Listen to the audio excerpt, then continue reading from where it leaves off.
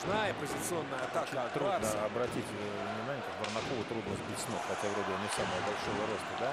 Ты видел старшего Варнакова в деле? Нет? Ну, конечно, Ровно то же самое конечно. было. Вроде роста не самого большого, а поди его с ног сбей Да.